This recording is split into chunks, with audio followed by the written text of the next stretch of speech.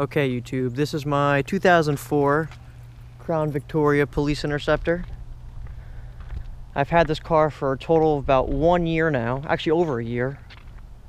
And uh, it's been a great car so far. Little things here and there I've had to replace. But I mean, after all, it is a used police car. Things are going to go bad on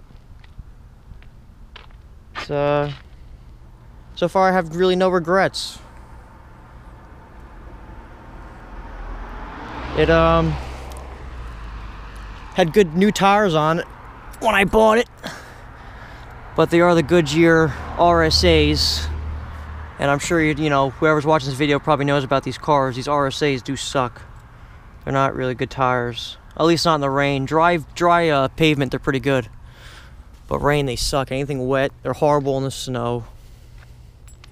But uh yes, it's basically in my car, nothing really special about it me and my dad added the Go Rhino, uh, Go Rhino push bumper. Added that, uh, oh geez, four months ago, maybe something like that, maybe less, three months ago. Um, the spotlight, the bar was here when I bought the car, but there was no handle and no light, so we, my girlfriend actually ended up buying me, uh, that for Christmas when I first got the car. But um, other than that, how you see it is pretty much how I bought it, really. Nothing's changed besides the push bumper and the spotlight. I added a few little things in here, like I added the, the car, uh, the little police interceptor badge over here. This light was already up here, worked works pretty good, and just uh, super bright at night, which is great. But um, it needed a new bulb, how to replace that. Uh, back seat is great. Plenty of room. I've had uh, five people in here, and they all fit pretty comfortably. Um, I mean, it's really nothing too much to say. The interior is pretty bland. I can't like show you anything on my, you know, head unit or anything. I have just a regular factory head unit, which I do want to swap out eventually. Uh, keep my flashlight over here. You know, nighttime, whatever. It's always good to have a flashlight on you. I've been on a couple weird NJ trips, and that always comes with me. Um, I'm not going to do a startup on this. This video, at least. I just really don't feel like it, to be honest with you. But, um, I guess I'll show you under the hood. Oh.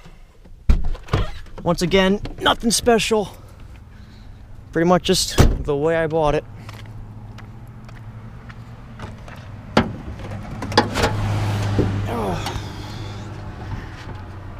It's got the 4.6 modular V8. No issues with it, no weird noises, no nothing. Runs like a top. It's got 103,000 miles. I bought it with 81. But, uh, it's been great. Not a single problem with the motor. These cars are known to get, you know, go for a lot of miles. Actually, wrong. I had to, uh, replace my intake manifold. That I had to do. That was a little pricey. But, it's a common problem in these. It all happens, and I knew it was probably going to happen eventually, so... It's not like it was something I was unexpected. But, um, yeah, it runs great. Everything's the same. I, th I think they're all original hoses and everything. I do in time want to swap out the hoses with the blue silicone ones. But, um, we'll see what happens with that. I don't know if I'm going to do that yet. Pretty expensive. But, um, yeah, pretty much it. I guess I'll show you the trunk.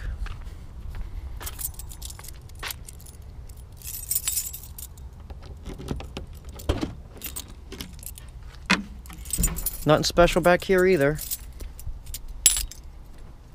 Just uh, all my maintenance records in there. That's the, Haynes or Chiltons, you know, yeah, the Haynes. Keep my coolant, some just random shit, in case, you know, keep my cleaner back there, uh, some extra oil. Doesn't even leak oil, I don't know why I even have it. But, uh, it's got a full spare, which is nice. It's not matching tire, the other ones. I actually bought this from the junkyard. So, but whatever, it's a spare tire, I could care less. But, um, yeah, it's a big trunk, nothing really back here. I keep it empty in case I gotta put stuff back here. But, um, it came with the trunk pack, police trunk pack. I didn't buy this, and there's actually Kevlar on it in the back. Right in here in the back, there's Kevlar. I mean, not like I'm ever gonna need it, but it's kind of cool to have, I guess. There's the fuel pump. Shut off switch. Not exactly sure what that's for. I think that's to reset the fuel pump. I'm not sure. There's the uh, emergency pull if you're you're trapped in the trunk, you pull it. But um, yeah, I mean that's pretty much it. It runs uh runs great. I bought it with 81 and it now has 103, so I've you know I've put some miles on this car and it's it's been absolutely great driving it. Nighttime is great, especially on like the highway or I'm in Jersey, so it'd be the Parkway. Driving down the Parkway or you know going down like uh, 195 real late at night. Everyone moves out of your way. During the daytime, it's a little bit different because they can they can see you, but during nighttime, all they can see is you know see his headlights, and uh, they move right out of your way. The cops don't harass me either. I never get harassed by the police, which is good. I thought when I bought it I was going to get uh, harassed by the cops, but not the case. But, uh, yeah, it runs great.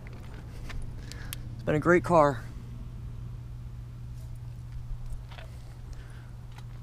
I'll post another, a few other videos up with it running. Maybe I'll do a couple, uh, you know, driving around town with it or something. But maybe at nighttime too, I'll show the spotlight, you know, shit like that. But uh that's pretty much it. That's um that's my car and uh I guess have a great day.